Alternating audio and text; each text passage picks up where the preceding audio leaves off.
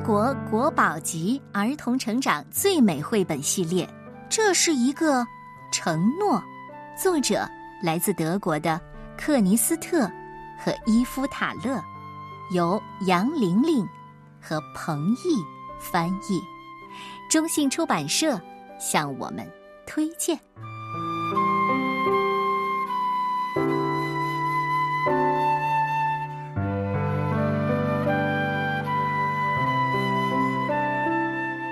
在冬天里，许多动物都会睡一个长长的觉，这一觉睡得又沉又香，这就是冬眠。春天来了，动物们睡醒了。小土拨鼠布鲁诺从漫长的冬眠中醒来，觉得神清气爽，浑身是劲儿。他想赶紧出门去看看这个广阔的世界。他跑啊，玩啊，直到筋疲力尽。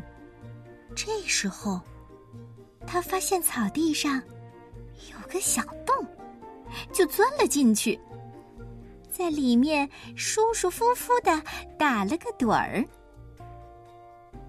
当布鲁诺睁开了眼睛，你猜，他看见了什么？哇哦！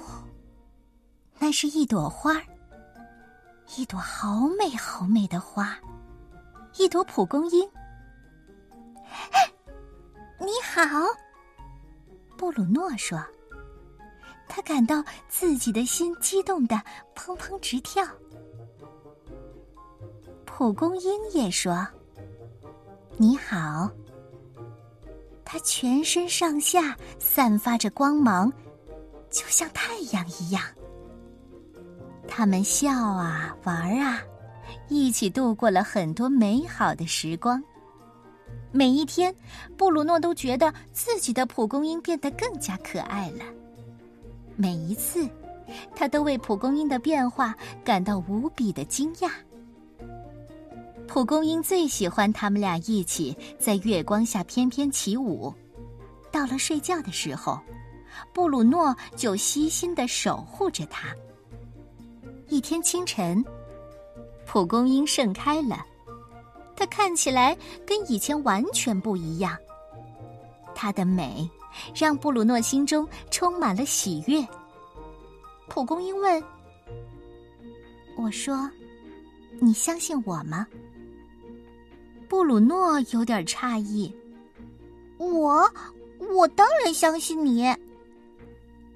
我是说，不管发生什么事儿，你都依然相信我吗？”“嗯，是的，不管发生什么。”“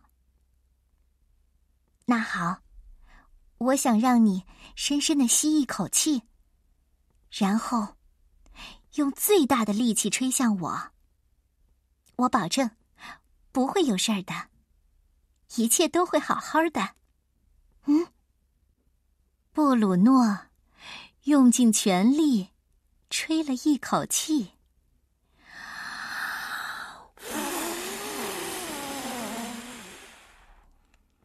但是可怕的事情发生了。哦天哪！他做了什么？他把他的花都毁了。布鲁诺难过极了，但是，他向我保证过，一切都会好好的，一切，一切，而我也答应过，要相信他，这是一个承诺。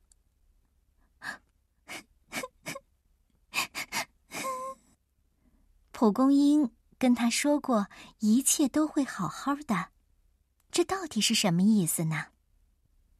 布鲁诺叹了口气，他独自一个人向这个广阔的世界走去。